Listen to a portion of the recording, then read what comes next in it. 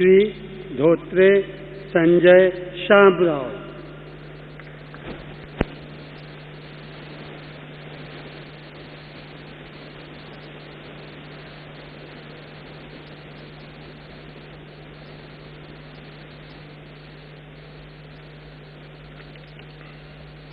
मैं मैं धोत्रे संजय शामराव, ईश्वर की शपथ लेता हूँ कि मैं विधि द्वारा स्थापित भारत के संविधान के प्रति सच्ची श्रद्धा और निष्ठा रखूँगा।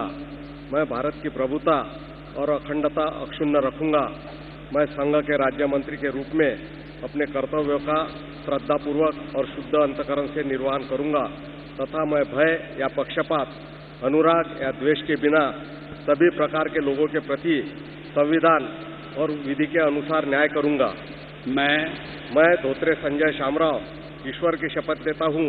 कि जो विषय संघ के राज्य मंत्री के रूप में मेरे विचार के लिए लाया जाएगा अथवा मुझे ज्ञात होगा, उससे किसी व्यक्ति या व्यक्तियों को तब के सिवाय जबकि ऐसे राज्य मंत्री के रूप में अपने कर्तव्यों के सम्यक निर्वहन के लिए ऐसा करना अपेक्षित हो, मैं प्रत्यक्ष अथवा अप्रत्यक्ष रूप से संसूचित या प्रकट नहीं करूँगा।